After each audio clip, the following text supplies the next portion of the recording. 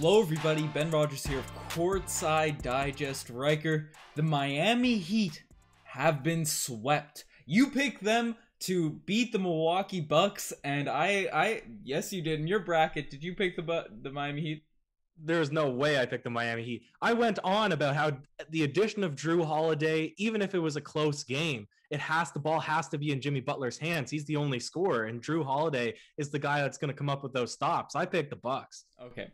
I thought you picked the Heat. So I was ready to roast you starting off, but we were both correct in the first knocked out of the series. Now, Ryker, people might be wondering, you know, I got the Heat jersey back there. Kawhi Leonard's in the thumbnail, he's there. But why is Ben wearing a Knicks jersey? Specifically number four. Specifically Nate Robinson, if you guys can see that. Well, might have to play the new segment, Ryker. your, your mouth and hold your stomach in tight to take this hit that you about That's right. We have our first knockout of the year. The Miami Heat, they get this dubious award, Ryker. 0-4 swept to the Milwaukee Bucks. A lot of Heat fans are in pretty bad spirits. They're looking like Nate Robinson did against Jake Paul in that fight after this game. What are your takeaways from this series? This is not surprising to me, although you try to you try to put this one on me, Ben. It shouldn't be surprising to anybody outside of feet the Heat fandom outside of the Heat fan base because this Bucks team they had no business getting swept last year. Then they improved their roster, and I talked about Jrue Holiday. We also talked about how Jae Crowder is a huge glaring gap in their roster now, and on top of that, Bam disappeared. Butler disappeared. All of their main guys absolutely became a fraction of themselves. So much so that they broke out a pretty foul mouth chant in one of their games, which we can't play. We're keeping it PG, but I'm sure everybody knows the reference. Then I there's anger everywhere. And if you scroll through the Miami Heat Reddit, I think it's reflective of what the entire fan base is feeling right now. And number one, let's just go through it chronologically. Number one, they're frustrated with Bam Adebayo and Raptors fans they they know this frustration because it's the same thing that they're saying about Pascal Siakam. We gave him max contract. He's getting good stats in the regular season, and now playoffs, when you need him most, disappears. What are your thoughts on that, Ben? Well, it's an interesting case because Bam Adebayo obviously had a really strong bubble playoffs last season, and he had a little bit of a down year. wasn't an All Star, but we've seen a lot of these guys come into the season and get that sort of treatment and come out. Julius Randle struggling the playoffs as well, right? Those big power forwards that aren't necessarily I guess Julius Randle's really improved his three point shooting, and Siakam did a little bit as well. But those types of bigs that are mostly athletic, energy guys have really struggled this season, and it's showing. Even though there's fans back now, Bam Adebayo struggled in these playoffs. Uh, he had an all right game to to end it off, but again, really just not playing at the level he was playing at in previous seasons. So maybe that's a part of the the weird season. There's less energy. There's less fans even though fans came back at the very end there, but less just the energy guys sort of struggle in these sort of settings. I don't know, maybe that's a reach, but seeing that happen to a few guys at that position, it could be a little trend we're seeing across the league, Ryker. But Bam Adebayo obviously is a very skilled young big man, and Heat fans are pretty disappointed with him. I don't think he should get that treatment that uh Siakam got obviously in the in the bubble and get get roasted and all these things. I still think he has a lot of potential. He'll be able to bounce back from this, but should the Heat be worried about maybe giving him the reins now that Jimmy Butler's 1 year older and he even struggled in the series as well? Well, listen. Bam's guaranteed 168 million dollars over the next 5 years. So it's justifiable that you're expecting more from a max contract guy, but he's young. He's 23. His regular season stats went up from what was it 15 points to 18 points per game 10 rebounds 5 assists they dropped down from last year's playoff performance obviously versus the regular season also versus last year's playoff benchmark but otherwise it's too early to con- get concerned you have a picture of him it's been floating around even their own fans are disparaging him that much that they're saying this Marlins game, this photo shot is when it all started slipping for him. So they're ready to grill into him, just like Toronto Raptors fans are ready to grill into Pascal Siakam. But Ben, it doesn't stop there. Again, obviously they're disappointed in Jimmy Butler, but Jimmy Butler's never been, he's been the energy, the motor, the closer. I don't think he's ever been at any point in his career the start to finish offensive creator. So I don't think that they necessarily expected him to do more, but they're looking at the rest of the team. Next couple of guys, they're point guards. Uh, just- they're saying Jimmy Dragic. Butler. Jimmy Butler. All right, pause on Jimmy Butler. Pause on Jimmy Butler. He was expected to be the offensive creator. He was. Well, listen, he he averaged he averaged. Oh, God. I was about to defend him. He only averaged 15 points on 30% shooting in this series. I was about to defend him and say he didn't play that bad, but he actually didn't. He didn't play very Like, good at all. The, the off, you know, outside of scoring and I guess initiating offense and uh, maybe decision making, I thought his defense was fine. I thought he just ran into holes on the offensive end and it didn't really make any sense. I believe he had a triple double to end it off. You probably have the box score in front of you, but you know, Jimmy Butler does all the little things to get you wins and in the bubble, we saw him take his game to the next level, do what his team needed him to do to take over and make that finals run. And this is another thing I want to point out. People are going to say that that Heat bubble run was an absolute fluke. And you and I kind of weren't sold that the Heat were this amazing team, finals. Comp- you know that that's been our perspective on it. That's been our take. But just because they got swept this season shouldn't take anything away from that finals run. It was tremendously impressive.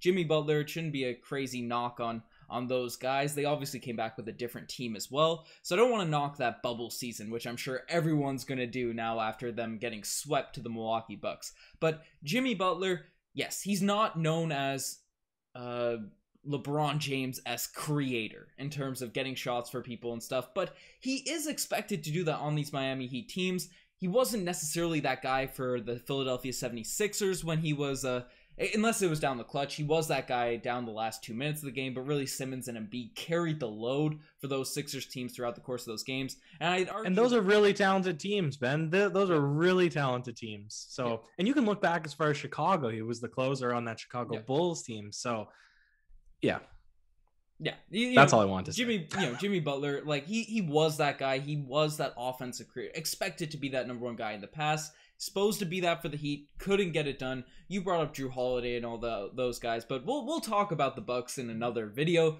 You brought up the point the the point guards, the guards on this team. Dragic obviously is one year older now, dealing with injuries. People were hoping he'd bounce back from those bubble injuries, those ankle issues. Kendrick Nunn, he's a free agent this offseason. There's a lot of frustration around these guards, especially after this series, right here. Yeah. Well, Goran Dragic, he's making a lot of money and he is getting pretty old. So, general consensus is don't pick up his team option, his $19.5 million team option. And then, I don't know if you put the graphic up or there is, at least the athletic is reporting that Kendrick Nunn is seeking about 15 to 16 million dollars per year as a free agent. Mhm. And Heat fans are saying you might get it, but not from us. Not a chance from this organization. And I don't necessarily blame them because 16, 15, 16 million dollars for a guy that you're not confident can be your starting point guard of the future, that's a lot of money to pay. And that's a lot of money to pay for a backup who you're still not satisfied with his stats. And that's why names like Kyle Lowry were really big in the free or the trade deadline this most recent uh, regular season. So it's interesting what they're going to have to do there for the point guards because obviously they've locked in Bam Adebayo. They can re-sign Jimmy Butler, but Oladipo, don't know if they'll want him. Dragic, they don't want. Nunn, they don't want. It's it, they're in one spot is a little bit peculiar. And who do we just break down? Collin Sexton. Maybe that is an option for them, Ben.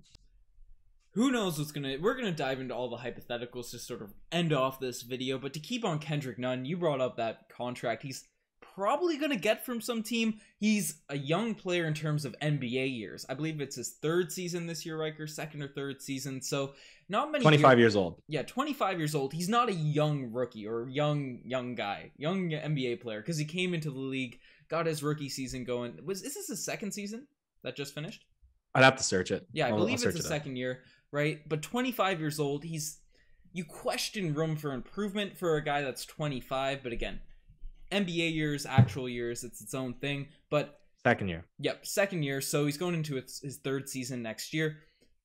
Ryker, he had a very up and down year because there was times he was completely out of the rotation. There was times when Dragic was out. He was coming in, stepping into games looking like a true young star, and that's kind of been his career. That's that's been the summary on his career, ups and downs, ups and downs.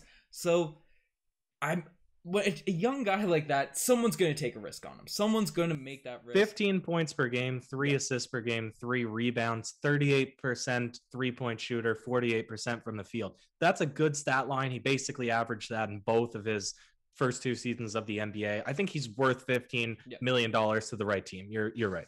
Yeah, in but again, Miami Heat fans, they they want They don't want. they tasted that finals glory. They they were two games away. They know this core is capable of making a run such as that, and and uh, Kendrick Nunn's probably not that starting point guard you necessarily want. They want to bring in different players. But speaking of young guys, actual young guys, Tyler Herro, he was a he was an enigma this season. Came in with MVP expectations. It felt like from uh from Heat fans, from people across the league. He got in a Jack Harlow song. People were saying he's untouchable in a James Harden trade. Obviously, that was they were over exaggerations at the time, but nonetheless, that talk was going around Ryker, and he put up then the the expectations, people's opinion of him just slowly went down over the course of the season. And you look at his sort of splits, box score, averages this year, still solid. Not a massive jump from his rookie year, but still really, really good for a young guy in this league. Ryker, I think he went from too high to too low. And now we're seeing, you brought it up to start off. Heat Reddit, we scanned through it all. We're reading Heat tweets. We're seeing what people are saying. They want him gone. I think people are overreacting to the the poor series he had. He did have 14 points in that final game, though, Ryker. They want to make it a fire sale in the Miami Heat. It it doesn't make sense. You're right. He improved this year, just not at the rate that they wanted to, him to improve. But that's not the reason. They're not low on Tyler Herro. They're just high on having a better team. Yeah. And so that's what people are saying in Raptors subreddit or not Raptors, Miami Heat subreddit and Twitter and all the space that you can check where fans have the ability to comment on what they want to see this offseason. They're saying, hey, Tyler Herro's our most marketable or most tradable piece. So if you could package him up for some of the guys that they're eyeing up, which are Hmm. very lofty, might I add, we'll bring it up at the end of the video. That's the guy that they would want to move because you want to have around Butler, who's obviously the spirit of a winning team. You need to keep around Bam, who there's just not too many scoring Mhm. defensive four to fives that are still athletic in the NBA. So they're like the unicorn now that that spot. So Bam Adebayo, you want to keep around. You know, I think the rest, basically, Heat fans are saying they could move them. They'd be fine to move them. And Herro seems to be the most tradable. So it's not that they're low; they're just willing to move on from him if it gets them a better player. Yeah, no, that that's for sure. And it's going to be interesting. I think the Heat are going to be one of the most talked about, looked at teams this offseason. And obviously, we got Kawhi Leonard in the thumbnail. We're 13 minutes into this vid. So let's go into the, the fan expectations, seeing what people are thinking about. Because obviously, the LA Clippers, they have struggled against the Dallas Mavericks. They won game three. We didn't do a full out reaction to that. We could probably make a whole video on Kristaps Porzingis Ryker because he has struggled for in that series and was the reason they lost in game three at least. I thought he had 20 points in game two.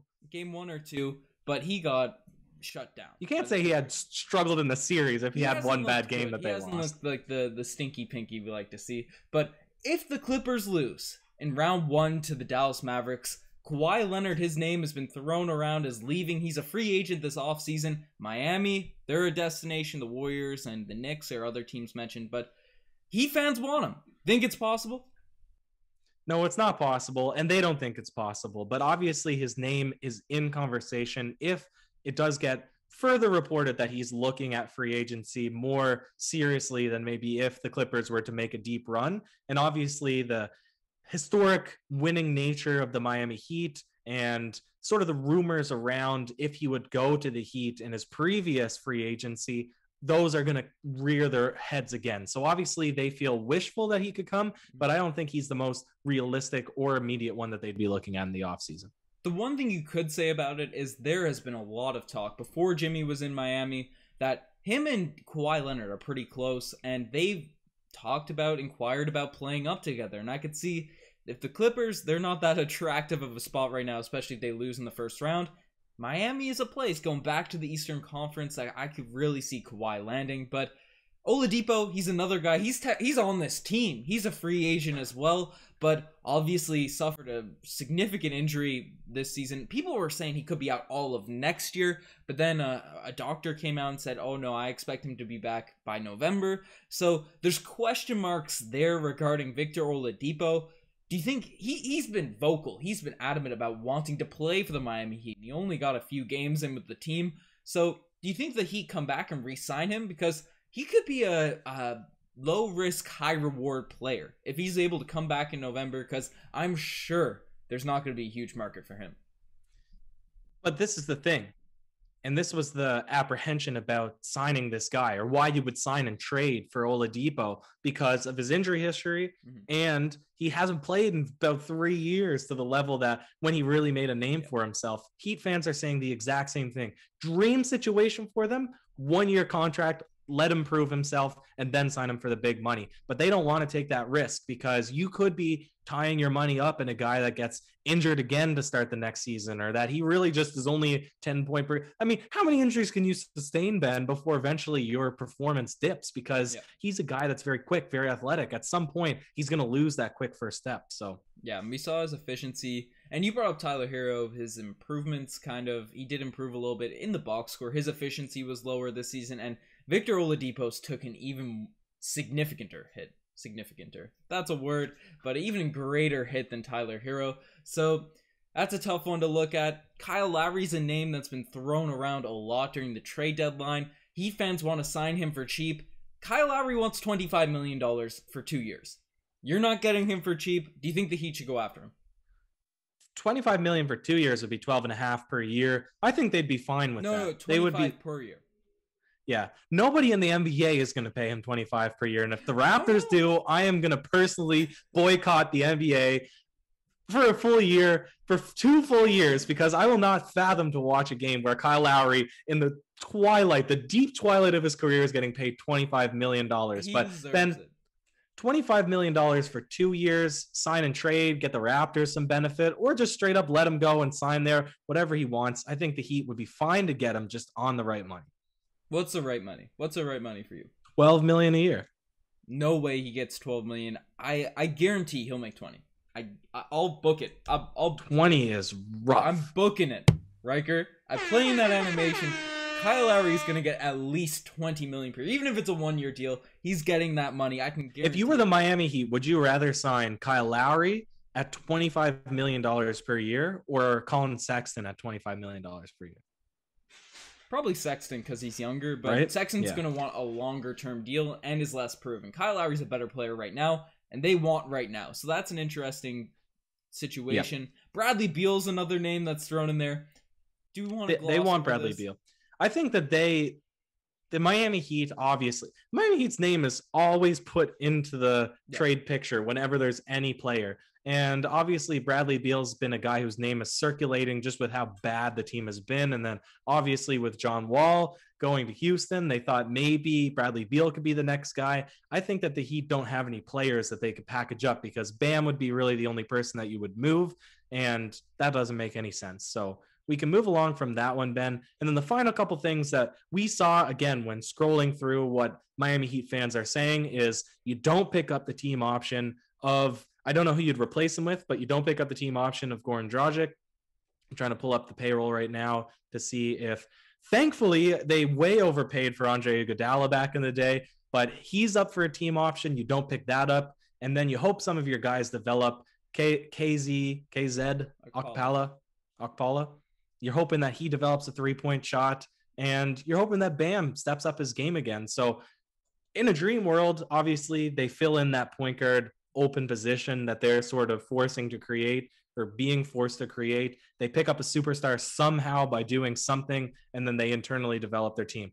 Then that sounds to me like what every franchise wants to happen in any particular offseason. But of course, Heat fans, they're ambitious. So yeah, well, the Heat are a destination. They're a team with championship expectations. So we'll see what happens. But let us know what you guys think about the Miami Heat, where they go from here. We talked about a lot some crazy, some less crazy. So we'll we'll see what happens with the Miami Heat going forward. You guys are the best for making this far. Check out the Instagram, the TikTok, all that cool stuff. Filmed a couple outros, don't have them into OBS just yet, but we got a lot of cool stuff coming. Record, do you have any last words? Play that segment one more time, Ben. We got our first knockout. Your, your mouth and hold your stomach in tight to take this hit that you about That's tough. That's a that's a tough one. Signing off. Cheers.